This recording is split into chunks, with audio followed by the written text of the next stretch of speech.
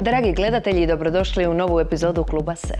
U njoj ćemo vas danas upoznati s brojnim zanimljivim i uspješnim sugovornicima, a prva u nizu bit će doktorica znanosti, arhitektica Jelena Skorup, koju vam predstavlja Lana Pavić.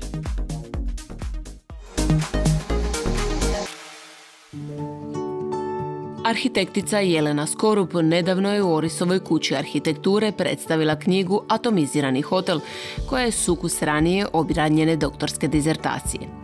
Iako njezina tema primarno zamišljena kao znanstveni rad, promocija je okupila ne samo struku, već i široki spektar zaljubljenika u arhitekturu.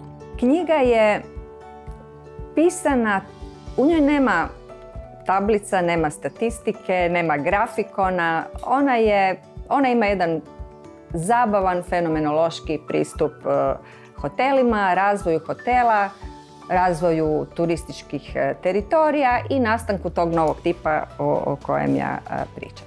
Tako da je ono u stvari jedna slikovnica, ima jako puno fotografija, ali može se čitati, kao što je rekla jedna moja prijateljica, ko krimić. Dakle, ima neku dinamiku, može se stvarno čitati. Ja svima govorim, čitajte jer se može čitati. Ne morate biti arhitekt, ne morate biti stručnjak u turizmu da bi, ovaj, da bi mogli pročitati tu knjigu. Ljubav prema hotelima proizašla je iz spoja ljubavi prema putovanjima i arhitekturi. Da struku voli i živi vidljivo je u svakom kutu autorečina doma kojeg je projektirala sa suprugom, cijenjenim arhitektom profesorom Dražanom Juračićem. Oboje su dobitnici brojnih priznanja, a ono za projekt restorana i kuhinje u hotelskom kompleksu u Pakoštanima donijelo im je zajedničko osvajanje nagrade Bernardo Bernardis. Mi smo stvarno e, putnici pravi, ono, od studentskih dana i onih interraila Europom po mjesec dana e, pravog, pravih studentskih putovanja do tih road tripova po deset dana po tjedan, tjedan, deset dana, dva tjedna i tako dalje, lutajući i lunjajući najradije, znači bez ono nekog pravog e, programa, nego ona kreni pa gdje god, gdje god dođeš. Tako da smo mi zapravo, e, tako, spojila se, spojila, spojio se interes za putovanjem i, i problem u projektiranju. Putujući i sama je shvatila da je važno govoriti o fenomenu atomiziranog hotela. Njega je najlakše objasniti zamislimo li rizorte na dalekom istoku, gdje je puno manjih objekata jednog hotela razasuto u okolišu kako bi se u njemu prirodno uklopili. Ovaj koncept razvijan je i u Europi, ali na drugim osnovama.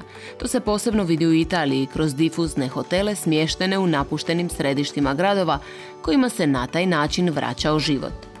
No hoteli nisu jedino što ovu arhitekticu zanima, jer je u suradnji sa suprugom odlične rezultate postigla i pri projektiranju vila te sakralnih i javnih objekata.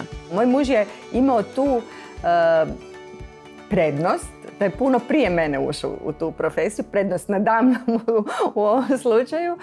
Pa je on stvarno, kad smo mi krenuli, nismo krenuli od nule kao što kreću mladi arhitekti svi. Ovaj, tako da je on već za sebe imao i velike projekte i skoro sve državne nagrade i Nazora i, i Kovačića i Bernardija. Mislim, apsolutno sve. Dakle, on je imao svoju profesionalnu arhitektonsku karijeru. Ja sam došla dosta samouvjerena i, ovaj, i i činilo mi se da ja jednako to sve tako dobro znam isto i da tu sad, da smo mi potpuno ravnopravni. I onda smo je prvo vrijeme bila ta neka kako bi rekla, ja sam rekla završit ćemo u crnoj kronici. Žena ubila muža rapidografom, a rapidograf to vam je bio onaj s time se to nekad se crtalo, kad se rukom crtala, kao tuš je curio kroz, kroz tu jednu vrstu olovke, recimo, koja ima malu tanku iglicu na vrhu. I, o, tako, to je bila moja glavna poštapalica. Ali kako smo, kako smo kako je vrijeme teklo i kako smo zajedno projektirali, mi smo se nevjerojatno uigrali. Mislim, to je stvarno moguće. Čovjek se pita kako dvoje ljudi uspije napisati knjigu, a kako dvoje ljudi uspije sprojektirati isti projekat. E, to postane jedan tako, e, mislim, baš uigrani postupak, da tako kažem. Dakle, mi se samo nadopunjujemo. Puno pričamo, e, u svakoj fazi zajedno sudjelujemo, jedan, jedna ideja malo bolja od druge i tako dalje. Tako da stvarno od, ispod početka, od kaosa koji je vladao ono prvih godina, ovaj, mi smo se jako, jako igrali, to je sad jednostavno. Unatoč tome, Jelena naglašava kako još uvijek vlada predrasuda da u arhitekturi one prave stvari rade samo muškarci. Stoga ističe kako njezin suprug često puta mora izreći ovo nije samo moj rad, ovo smo zajedno napravili. Ne bi danas mogla zamisliti da išta drugo radim. Bez obzira što to uopće nije fina, nježna ženska profesija, što je to jako teška profesija za žene jer je, jer je to jedan stvarno muški svijet. Dakle, još uvijek postoji ta percepcija da žene ne projektiraju, nego možda biraju boje ili tako, rade neke interijerske detalje ili ne znam šta, biraju tepihe u dječjim sobama.